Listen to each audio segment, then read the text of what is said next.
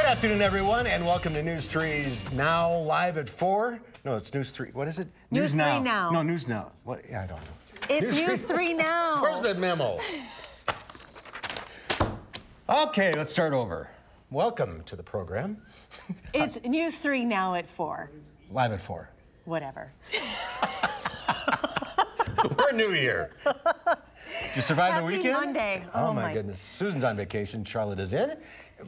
I mean, there was just about everything. No, and I, I think, have you noticed people's tempers are a little bit up there? Getting there, and there's yeah. snow in the forecast every day this week. Okay. Okay. Yes. Florida looks really good right now, doesn't long. it? Here's what's making news on this Monday. We'll hear the personal story from a driver involved in that massive winter crash on Highway 41 near Neenah. Amanda Quintana is here with that. And the governor is going to propose in his budget this week more money for the UW and freeze tuition. But Rose Schmidt will explain why there's already opposition lining up. And R&B star R. Kelly appears before a Chicago judge today on sexual abuse charges. We'll hear from one of his alleged victims. Let's take a look outside. Kind of not too bad today. The sun was out. Sure, relatively speaking, yeah, right? It could always be worse. it could always be, yes, as we found out on Saturday uh -huh. and uh-huh. Sunday. Stay bundled up are the weather words. Dana Fulton's in the backyard where it isn't snowing for right now. For right now, but I can't say the same for everyone. Uh, three are seeing some flurries currently in southern Wisconsin, and we are expecting some flurries uh, throughout the rest of the evening. And as you mentioned, almost every day this week. Live downtown right now, the sky actually doesn't look too bad. A few high hazy clouds. Uh, it's a little cold though. We only hit a high of 11 today. That's really where we're at right now and started the day close to zero. And again, with those wind chills, it's felt well below zero all day, all day long. We should have been in the mid 30s for afternoon highs, uh, helping to chip away a little bit at some ice and snow melt, but that just wasn't the case for us. And as we look ahead through the rest of the week, we are going to stay quite chilly. So 11 currently in Madison and in Platteville, about 12 in Mineral Point and in Lone Rock. Same goes for Janesville and Monroe. Again, with the wind chill, though, it feels closer to one for us in Madison. It feels about zero right now in Lone Rock. So a very, very cold day. and it's going to stay cold for the next few days. Our Doppler track showing flurries for some of us. Madison not seeing any flurries right now, but looking towards Platteville and Monroe, we are seeing some light snowfall, and we do have the chance to see some light flurries through the next few hours. It won't be much and not really adding any accumulation, but just enough that you may see a few snowflakes swirling around. And that is mostly for southern Wisconsin, not really seeing anything off to the north. Looking ahead to your Tuesday and Wednesday, we have added an alert day to the forecast for Tuesday night and throughout the day on on Wednesday. Snow accumulation totals from one to four inches possible, especially northeast of Madison. So more snow is on the way and it's going to stick with us for just a little bit. It may impact your uh, commute Tuesday night and again on Wednesday morning. We'll take a closer look at some timing with that snow coming through in just a few minutes. Right now, of course, we want to take a look at what's going on on the roadways. First alert traffic update for you. Much of Dane County actually looking fairly green right now. A little closer look at the Beltline, both eastbound and westbound, not seeing any major reductions. A few brake lights there right along the Beltline near 51, uh, but towards 90 and 39 things look okay. Looking up towards uh, Prairie du Sac and into the the Dells area, all looks fine. There is a the left lane closure there just south of the Dells on 90, but it seems like that's going to be clearing up. It's not causing major delays along 90.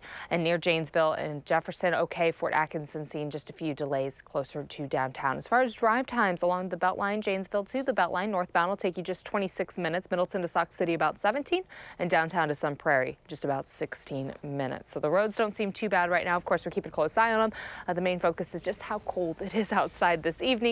So definitely bundle up if you have to go out. Yeah, those winds are rough. Yes, mm -hmm. definitely. All right, Daniel, we'll see you in a few minutes. Thank mm -hmm. you. First at four, a 30-year-old man is dead, and 71 people are recovering from their injuries after yesterday's crash on I-41 that involved 131 vehicles. Unbelievable. Whiteout conditions caused crashes all across the state, with another 20 cars sliding into a ditch near DeForest. Amanda Quintana is here with from with more from the local women who were in that crash near Neenah yesterday. Very scary. Yeah, some scary stuff. But at a news conference today, Winnebago County Sheriff said the crash on I-41 was the largest traffic crash in Wisconsin state history. Susan Bruger and Nicole Adrian of Platteville were in that crash. They said the roads were fine until they weren't and they couldn't see anything. They were able to stop when they saw the road was blocked by cars crashed in front of them, but that's when they were hit from behind, pinning them both inside the car. But when they removed those two, two vehicles and then came to um, my side of the door, um, a fireman had said, there's two people in here and they're still alive. And we figured the car looked bad. But that is probably a surreal moment that I'll probably never forget. Wisconsin DOT says having that many crashes in one day is rare, but it's not surprising with yesterday's high winds and blowing snow. That snow quickly turned to ice and there was zero visibility in some spots. At 6, we will hear more from a state trooper who was out helping those 20 cars that crashed on I-3990 near DeForest. He says winter is not over, so we need to be ready for more slippery roads. We need to be ready for those whiteout conditions. A rough day on the roads, that's Yeah. for sure. All right, Amanda, thank you. Iowa officials are still urging people to stay off the roads in most of the state because of blowing and drifting snow. Northbound lanes of Interstate 35 that runs north-south through the state are still closed from Ames to the Minnesota border. That's more than 100 miles. Semi-truck drivers and stranded motorists are backed up in Ames waiting for the highway to open. The southbound lanes opened this morning in most northern Iowa counties. Plows were pulled off the road Sunday because of the limited visibility. Governor Evers will unveil his two-year spending plan on Thursday. Rose Schmidt is here to explain his plans for higher education, which could run into some opposition. Rose? That's right. UW System President Ray Cross is applauding Governor Evers today for his investment in higher education. But parts of his plan are certain to draw pushback from Republican lawmakers. Evers' plan would give a $150 million boost in funding for the UW system and freeze tuition for in-state students. Republican Representative John Nygren, who chairs the state's budget committee, tweeted that Evers continues to make a bipartisan budget nearly impossible. The proposal also includes money for a 2% pay increase for faculty and a study to develop options for refinancing student loans. Multiple students we spoke with today tell us that continuing to freeze tuition could help them out immensely.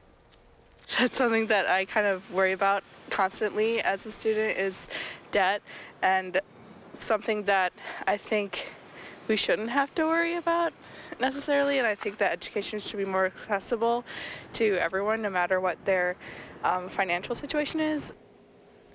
Under one of the more controversial parts of Evers' plan, Wisconsin residents who enter the country illegally would be able to pay in-state tuition at UW schools and Wisconsin technical colleges. Governor Walker criticized Evers during the campaign, saying that Evers wanted special treatment for, quote, illegals. Another part of Evers' budget proposal that is drawing criticism from conservatives is his plan to cap enrollment in the state's private voucher program. Senate Majority Leader Scott Fitzgerald says the plan, quote, would do immense harm to the voucher program and create uncertainty for schools, students, and their families. Rose Schmidt reporting. Rose, thank you. Vice President Pence met with Latin American leaders in Colombia today to discuss the ongoing political crisis in Venezuela. He turned up the pressure on Venezuela's Nicolas Maduro, announcing new sanctions against members of his inner circle. Over the weekend, troops loyal to the embattled president fired tear gas and rubber bullets at, at Venezuelan citizens trying to reach U.S. aid. To those members of Venezuela's armed forces, you will find no safe harbor, no easy exit, no way out. During his trip to Colombia, Pence met with opposition leader Juan Guaido, who declared himself Venezuela's interim president last month. The two leaders delivered humanitarian aid to Venezuelans who fled to Colombia. President Donald Trump has embarked on a trip to Hanoi, Vietnam for a second sit-down summit with North Korean leader Kim Jong-un. The president says the goal of the summit is to work towards the denuclearization of North Korea. Natalie Brand has more details from the White House. President Trump departed Washington for Hanoi, Vietnam, ahead of a second summit with North Korean leader Kim Jong-un. I think we can have a very good a very good summit. I think we'll have a very tremendous summit. President Trump has a primary goal for the meeting. We want denuclearization. While the North Koreans have not conducted missile tests for the past 400 days, Trump administration officials acknowledge getting North Korea to give up its nuclear program will be a slow process. We've always known this would take time and, and it would be a step forward and uh, slower than the, the world has demanded. Trump administration officials also acknowledge that North Korea so far has not taken concrete steps towards denuclearization.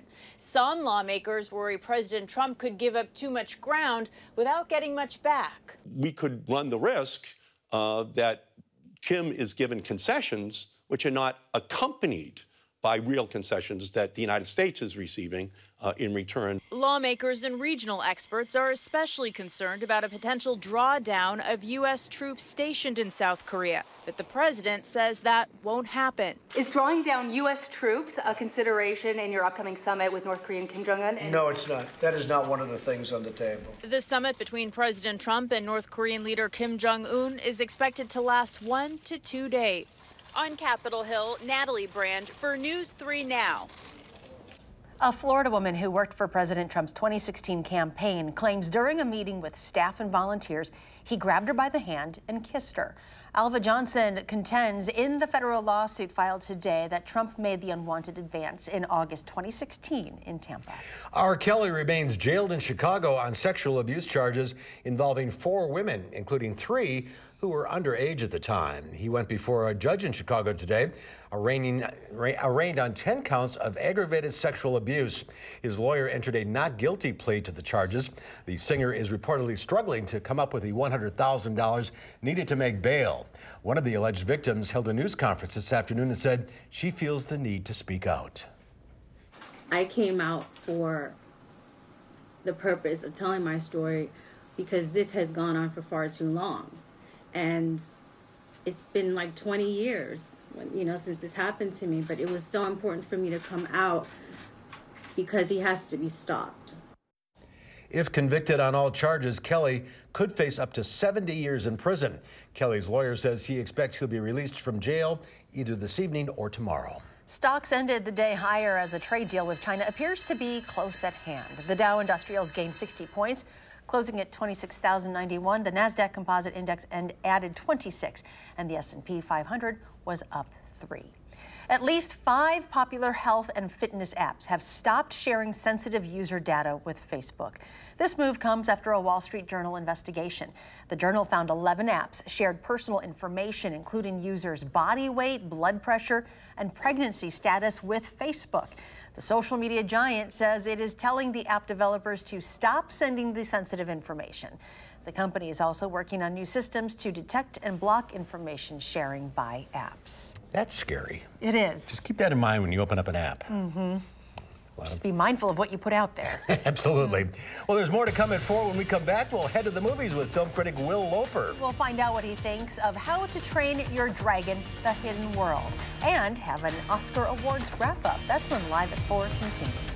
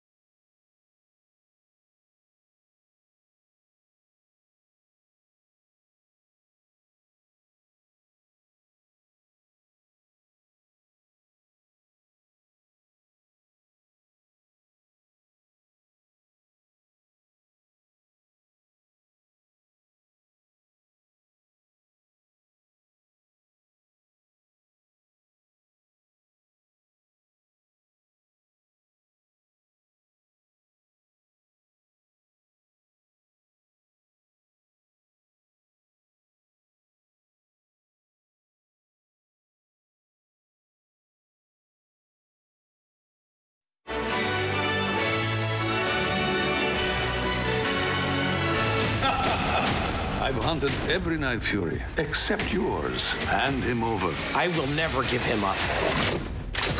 Then I will destroy everything you love. We are no longer safe here. We all have to disappear, completely off the map. We have to fight for their freedom. Well, that was a clip from Train Your Dragon, The Hidden World, one of the newest movies to fly into theaters over the weekend. Is the third film in the Dragon series worth seeing? Here's Will Loper to let us know. Third one already. I can't believe it. Third one, and they say it's the last, but uh, I wouldn't hold your breath. Yeah. They always say that. They always say that. So this film will deliver all the fire-breathing action and dragon-flying adventure you could ask for. Both kids and adults will find plenty to enjoy in this film. So Jay Baruchel voices Hiccup, leader of his village, which has successfully incorporated dragons into everyday life, even if the amount of dragons increases every day and puts strain on the village. However, an evil dragon hunter decides he wants Hiccup's rare Night Fury dragon, named Toothless, and Hiccup and the rest of his dragon-flying friends must decide whether to run or to fight. The movie is gorgeously animated. There were points in the movie I just wanted to pause it and admire how they had animated something like the sand. It just looks so good. Story is predictable, but it gets the job done. If you have little ones needing entertainment for two hours, a trip to the theater for this movie will get the job done. And the parents aren't going to be bored? No, no, they aren't. I mean, I, I definitely think the first one is the best of this bunch, and it's kind of been diminishing returns every time, but I was entertained through the whole thing, so. All right, good. So what's the rating? This one 3.5 Hobgobbler dragons out of 5. These are the smallest, chubbiest, and cutest of the dragons in the film. So, pretty good rating. Pretty good, yeah. All right, let's talk about the Oscars last night. Yes. Some surprises and some not so surprises. Yeah, I mean, uh, Rami Malek for Best Actor. Obviously, that was the lock. Very guaranteed win. Um, Roma winning Best Foreign Film, Directing, and Cinematography. I think we all knew Roma would pick up at least foreign film and cinematography. But yeah, I mean, definitely a few surprises. Olivia Colman winning Best Actress for The Favorite, beating out both Glenn Close and Lady Gaga.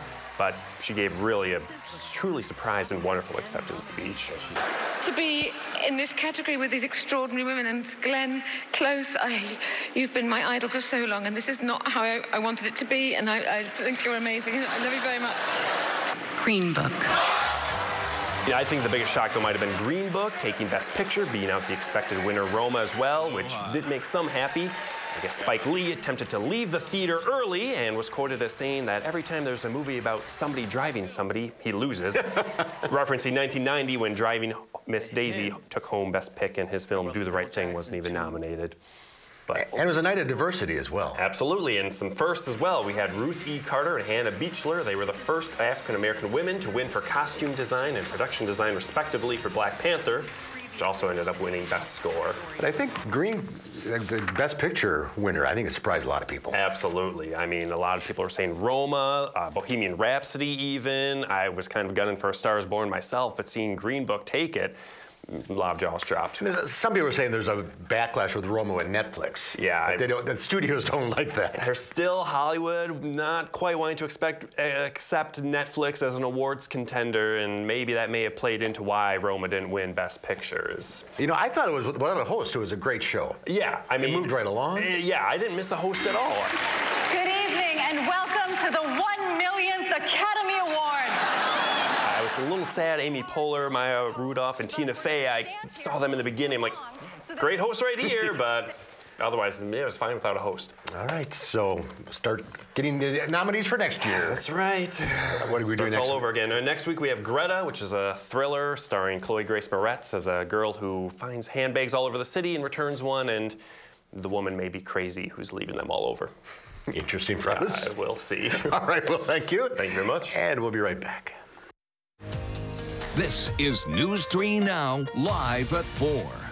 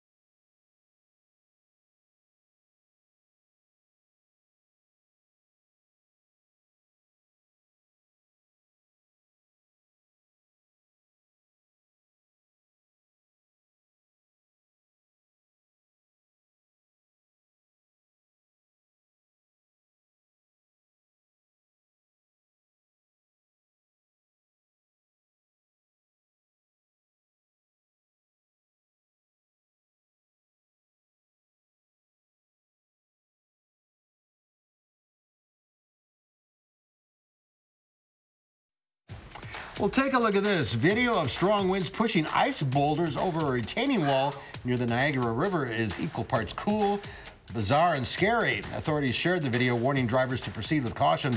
One roadway had to be closed due to the encroaching ice. Frigid winter weather has been the source of many striking images from the area. In January, parts of the normally rushing Niagara Falls froze, resembling a mountain of ice. But this latest video of ice in the park can be summed up in one word moving. Wow. Isn't that something? Very oh. So we are not sure that this next story will make our weather woes worse or maybe give us hope. Hopefully a little hope. It hit 66 degrees in London Oh, my today. goodness. Nowhere near that here. That's officially the warmest February day in the city since records have been kept. And of course, those records go back centuries. Bees are buzzing oh, and cherry wow. blossoms are blooming as spring is completely in the air. People enjoying time at Regent's Park weren't complaining about the warm weather, but it also had some, of course, worrying about climate change. Keep in mind, however, on this day last year, the capital city was shivering under a thick blanket of snow. Oh, but just savor Just, that. just look at that. Just look at the sun and Oh, Be happy for our friends across the Right, right. It's coming eventually. Yes, yeah. Not well, this, not this week. Not this week, probably not next week, um, probably probably not for a, a minute, but we are going to get spring at some point, and it's going to be nice out. Uh, if you're a fan of snow, I've got good news for you. Your forecast right after the break. Great.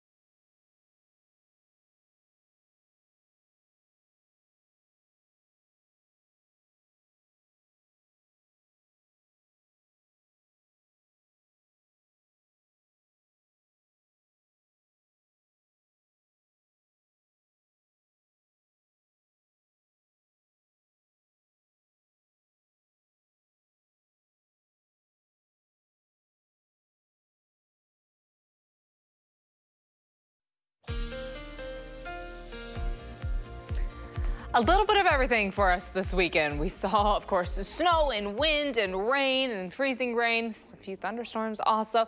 Uh, right now, we're just looking at a very cold night, bit of a breeze for us this evening, and also, of course, our flurry is still coming through along the southwest corner of the state towards much of Grant County right now, seeing flurries. We are seeing a few flurries just north of Madison, but it's just outside, nothing coming down for us currently in Madison. But don't be surprised if you do see a few snowflakes swirling around through the rest of the evening.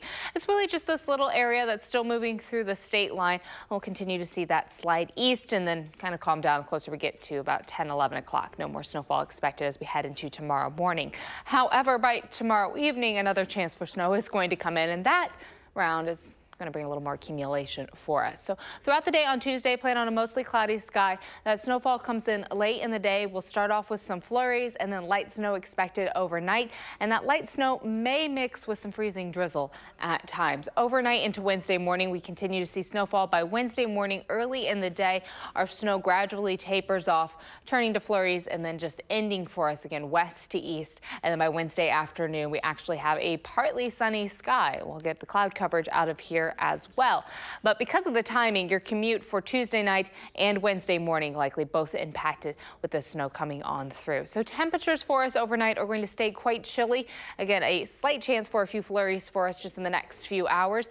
By tomorrow morning, temperatures are going to drop close to zero to start off the day. It will be mostly cloudy and then later in the afternoon and early evening, that flurry chance starts to come back in. And that is again going to add up to a little bit of accumulation for us. Anywhere from one to three inches really expected throughout southern Wisconsin, falling between your Tuesday evening commute and your Wednesday morning commute. Most of it, though, is going to stay north of southern Wisconsin to central Wisconsin for us. Temperatures on Wednesday will be in the low 20s for afternoon highs. Now, looking at that expected snowfall, one to three inches likely for us with lighter amounts to the south. The totals start to get a little higher the closer you get to Sheboygan and Fond du Lac. Uh, they could see up to two to five inches of snowfall. Again, that trend, a gradient there, the lesser amounts to the southwest and higher amounts expected to the northeast. So because of that snow chance, we do have an alert day in the forecast for Tuesday night and for Wednesday uh, because your commutes are going to be impacted by that snow coming on through. And then the concern, of course, once the snowfall does end on Wednesday, are we going to have any blowing or drifting snow that'll impact our roads again. So that's snow accumulation on top of what we already have on the ground. And we have had quite a snowy February, already 21 and a half inches of snowfall this month. We should have picked up closer to about 10 and a half inches of snow. So we are well above average in the last few weeks. Temperatures over the next 12 hours are going to stay quite cold. Heading into tomorrow morning, we are going to drop close to zero with those wind chills falling well below zero for us to start off your Tuesday. Anywhere from, uh, you know, 5 to 20 degrees below zero as far as what it feels like outside. Bitterly cold, that light snow and flurry chance possible for us heading into tomorrow morning and then a break for us tomorrow morning. And then tomorrow afternoon that, or evening, the light snow picks back up, especially later on in the day. High temperature for your Tuesday, close to 18. And we are going to stay below average for the next uh, stretch of time through your 10-day forecast. We should be in the mid-30s, and it doesn't look like we're going to get anywhere close to that. 18 degrees your high for Tuesday in the mid-20s for Wednesday, Thursday, Friday, hopping up just a little bit, but we're expecting another round of snow to come in on Friday. That flurry chance popping up almost every day, and then a very cold weekend ahead for us. We'll be seeing highs in the teens, and of course, those overnight lows falling well below zero. Uh, yes, the snow chances staying, the cold air is staying. We're not looking at much of a warm up until we start to get into the middle of March. The middle of March? I know. Well, March is Friday. Well, yes, but you know what the middle is? It's, it's a little more time. We get through the 10-day forecast, and then we are looking all the way out to the middle of the month before we start to see a climb where we get warmer as an above average warmer. So the morning commute tomorrow should be okay. It's the afternoon. The morning commute tomorrow really should be okay, yes. But as, as we were talking about earlier, there's still some spots that are just ice ponds Mhm. right now. So Mhm. even though we don't have snow falling, Yeah. that doesn't mean you, you shouldn't take it a little slower or be very aware of the road conditions. Great. what can you say at this Yeah. point? Mm-hmm. Let it snow. Let it snow. Sorry, guys. Thanks, Dana. Thank you. Plastic is contained in almost every product we buy, much of it single-use plastic that ends up getting tossed. But now there is an effort to change that. CBS News' Farah Fazal takes you inside the zero waste movement. At the refill shop in Ventura, California, there's a wide assortment of bath and beauty products. But it's what's not here that makes this place unique. I just kind of had the crazy idea. Owner Michelle Stevens' idea led to a store where items aren't sold in prepackaged plastic bottles. It's refills only. I wonder if people really would bring their own containers in over and over. And they have. And for those who don't want to bring their own, Michelle offers empty glass and plastic bottles that can be reused. In the eight years that she has been open, Michelle has filled 30,000 refills from bottles like these. Packaging accounts for nearly 15 million tons of plastic created every year, and most of it ends up in landfills or the ocean. Michelle's shop is just one of many zero waste stores popping up around the nation that's trying to change that. At Precycle in Brooklyn, to buy any of the produce, pastas, or even oil, shoppers have to bring their own containers. Well, I love it, and I like buying things um, package free, so that's really big for me. The idea isn't just catching on with small stores. Coca-Cola, Procter & Gamble, and several other global corporations recently announced a new initiative called Loop. This summer, 25 companies will sell certain products in glass and other containers that can be collected, cleaned, refilled, and reused. We're just really trying to make a little less trash in the world. Michelle is trying to launch more shops like the Refill Shop. She believes every sale means one less plastic bottle going to waste. Farah Fazal, CBS News, Ventura, California. I like that. That's a great idea. Like I was telling you, I have a friend here in Madison who brings her own containers to the grocery store for for all of that stuff for you know vegetables, produce, and, And they can like, weigh it deli out and stuff? Apparently so. She's been doing this for years. That's why there's not a store like that in Madison. All right, somebody out All there, right. come up with it. Get at it. Still at four, science can be tough, but yet a fun subject to teach. But there's a top-notch teacher in Janesville who has no choice but to get creative because of her students' abilities. And she is proving that learning is always possible. We'll meet her next.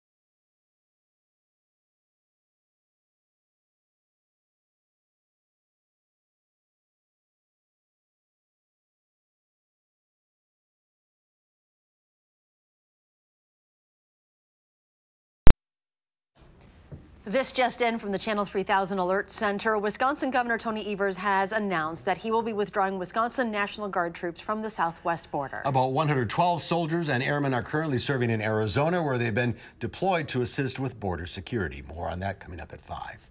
We've known for decades that teachers sometimes have to get creative when teaching certain lessons. Well, imagine how creative you'd have to be to teach science to students who are blind. For Kathy Arndt, there's nothing she can't teach because she knows her students have what it takes to go straight to the head of the class. We're going to start out with passing out some of the stethoscopes. And so I want you to look for your own heartbeat. You should be able to feel that come up. Okay, now take that in your hand. And I really enjoy teaching science hands on. You hear it? Not uh, yet. Hands on and finding different ways to teach basic science principles are a must here. I came with the attitude of learning from the kids and learning how to teach them from them. After being only the second ag teacher in all of Wisconsin back in the day, Kathy Arndt now teaches science at the Wisconsin School of the Blind and Visually Impaired in Janesville. I'm adamant about these kids being on the same playing field as other children, and I really want them to understand the world around them the way that a sighted child has an opportunity to do. The experiment does not specify the amount. Because of that determination, she brings the world to them. Sighted people are able to see these animals in National Geographic or in magazines. Children who have no vision are never going to experience these animals unless they are actually able to touch them very important to have all the different uh, creatures that we have here. I even have a piece of polar bear fur. And Kathy spends countless hours researching. I don't use a textbook much, do we? I mean, I'll get it out and I'll say, okay, we're on this page, and it kind of ends there. It worked. What? Yeah. Ours worked too, Ms. Arndt. She always finds a way to bring science to life, from understanding the human heart to actually playing with fire. I think it's because we do experiments all the time. And With, of course, proper supervision. I try everything I can to move the blocks aside and still have them learn. If there's a way that I can possibly teach it, I will do it. These aren't just students to Kathy, they're her kids. My hope is that they will find happiness in their future and feel that they're contributing to the world around them. I think the population in general doesn't recognize uh, people who are blind as capable contributors to our world. And I would hope that someday that would change. You guys did a good job today. Thank you. Hmm. Kathy, congratulations and thank you for doing what you do every day. If you know a top-notch teacher who deserves to be recognized, let me know. You can nominate them at channel3000.com under the Education tab. What a very special teacher she is. Oh, she's fantastic. Yeah, the students Kathy. love her. All right, it's time to get your medical questions answered. The number to call to talk to Dr. Zorba Paster is 270-9933. Zorba is standing by live at his clinic in Oregon. Hi, Zorba. What are we talking about today? It's a good day. Hi, guys. We're going to talk about working women and depression, and if they work too long, they might have problems.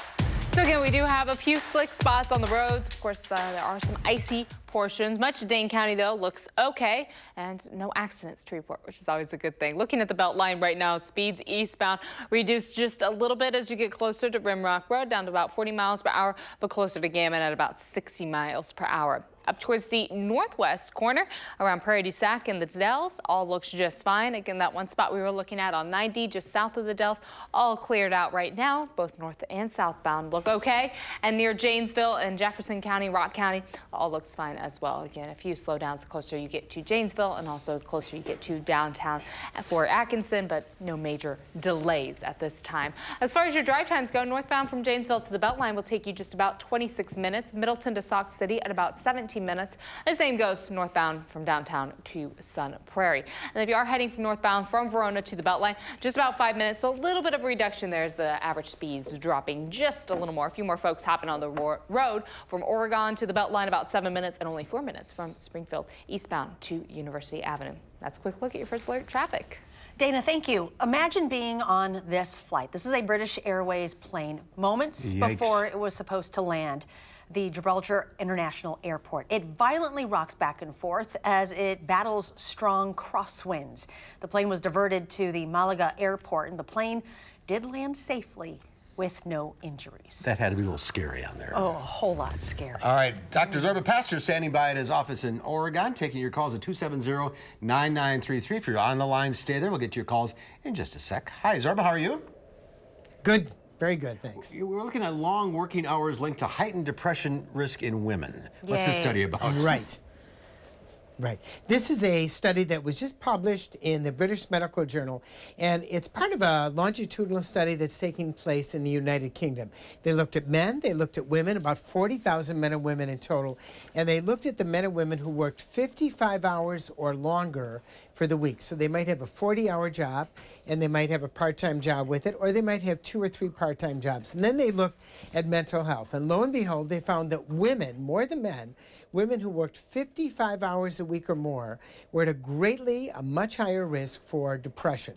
Part of the reason they think may be that a lot of women have to go home and then they have chores to do at home, but they're not exactly sure why. But there really is a take home message. The women who worked weekends were much more likely to be depressed. The women who worked work hours where they worked at night were more likely to be depressed. And what was very important is that women who sought help because they had depression actually improved because they went, they saw their doctor, their healthcare provider, and actually got help. So the bottom line here is if you're working 50 or 55 hours a week and you're depressed, you are not alone. And the answer may be to either seek help from your healthcare provider or to seek help at home so that you can get rid of some of those chores that actually are part of the depression syndrome that's mm. occurring. Very, very interesting data. Very important for any woman who works long hours. Yeah, try to change the situation yeah. if possible. Yep. Make it better. All right, we got some calls waiting, so let's get to the phones. We'll start with Diane in Madison. Hi, Diane. Hi, how are you? Great. What's your question? Good. Okay. How you doing, Dr. Zorba? Very good. Thanks. Um, my question is after a person has knee surgery, how long should that person stay on pain medications? And this is part two. And if they are on that medication, what is the time frame that they should stay on that? Because we know that some opi- opiates are kind of pain, uh, pain medications can lead to uh, an addiction. So how Absolutely. long would you suggest Absolutely. that they should well, stay on that medicine? You, you bring up a good point. The, fir- the, the, the, the short answer is as little as possible. And quite often, orthopedic surgeons will give a huge amount. They'll give maybe 60 tablets or 100 tablets and say, take them until you feel better. And we now know that when that occurs, you're at a higher risk for addiction. So, anti inflammatories, which often orthopedic surgeons say you have to stay away from, are not used Arthritis strength Tylenol, it's an eight hour pill, two tablets every eight hours will help a lot of people. And then you want to taper off those opioids as soon as you can. And that's critical. And I'll give a perfect example that happened in my office today. Young man came in, he never had any drug problem, went to the dentist, had wisdom teeth removed, had hydrocodone, had only four tablets, and said, gee, this feels good, this feels good. And he ultimately became addicted from that. He has fought that addiction successfully, but it was just that little bit of opioid that made a difference. So the answer is less is best. Yeah, it doesn't take much. Mm -hmm. Does right. not take much. No. Let's go to Mary from Madison. Hi, Mary. What's your question? Yeah, um, I was wondering what to do about low back pain. Well, first of all, best thing for low back pain is to get out of bed and start to move. We used to put people in bed for one week, then we found out that was wrong. Then we put people in bed for three days. We found out that was wrong. The best thing to do for back pain is as soon as you can, get up and start moving. Back exercise are excellent. Go to the web, Google back exercises, Google them from the Mayo Clinic or Google them from a reliable source, and there are great exercises that you can do. And then anti inflammatories, two Aleve tablets twice a day for a week can often help people with low back pain. And then, of course, there's massage, there's chiropractic, and there's yoga. And physical therapy, too, as well? And physical therapy, of course. All right, we were talking at the top of the show how crabby people are because of this weather. Any advice Yeah. besides going to Florida for a week? I, that's, I think you should have prayers for warmer weather. That's probably about the advice that I can get. But it's very difficult when it's cold like this. I think getting out and doing something is really important. We get, you know, we get cabin fever because we don't want to go outside, and that, of course, is a problem. That's about my my advice. I don't recommend that you go on any pills. You just have to get outside as soon as it's warm. It will warm up eventually. Zorba, thank you. Thank you, everyone, Thank for calling in. you. We'll A see pleasure, you, guys. See you soon. We'll have a final check your forecast coming up.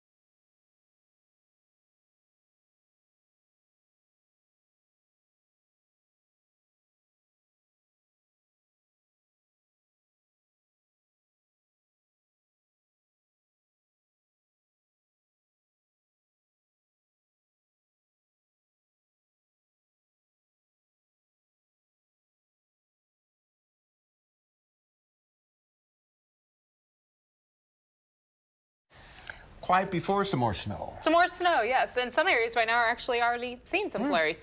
Uh, so we may have a few more flurries tonight and this evening. Not expecting any accumulation along with that, though. It is cold outside. We're at about 11 right now in Madison, closer to 12 in Mineral Point and Monroe. Uh, as far as your wind chill goes, it does feel a little closer to zero for most of us. And if you're going further north towards Viroqua or Camp Douglas, it feels below zero. Our next chance for significant snow will come through Tuesday night and into Wednesday. I said significant, more measurable snowfall uh, right for your Tuesday evening commute and your Wednesday morning commute. So we do have an alert day in the forecast for that overnight transitional period where, where the snow will be coming through. I love that background on that graphic. Oh, the, and just the snow going across the road. Just That's con- what we were just dealing with this weekend. Pretty yes. accurate. Yeah, yeah, pretty All sure. right, all right, Dana, thank you. Tomorrow here on Live Before, Lisa Briggs from the Bruce Company will be along to take your plant and garden questions live. And have we reached the tipping point? How much and who should you tip? Consumer Reports has some advice.